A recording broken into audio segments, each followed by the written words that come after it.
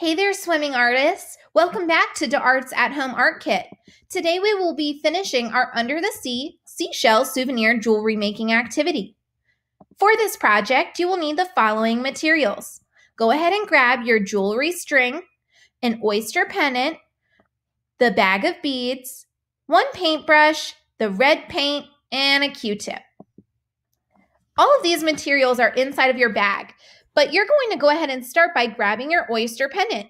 You can see that with my paintbrush and red paint, I decided to make some stripes along the rough side of my seashell. The opposite side of your seashell is really pretty. It's up to you if you would like to paint on the inside or the outside. A seashell is always unique, but we're going to make it even more special by making your own unique design.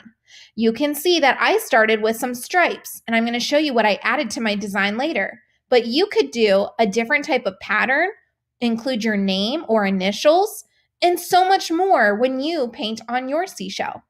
Once you are happy with your design, set your seashell off to the side to dry. While it is drying, we're going to grab the string and the bag of beads. Use your green and white beads to create a pattern or a random assortment of the beads on your yarn. We are going to wait until our seashell is fully dry, but when it is, you can thread it onto your necklace and tie it in a knot to fit your neck.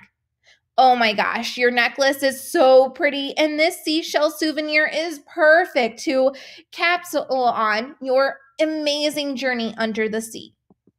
You did it. I am so proud of the projects you completed. If you would like to share your image of your seashell souvenir or other projects, feel free to do so via email or on social media with d'Art.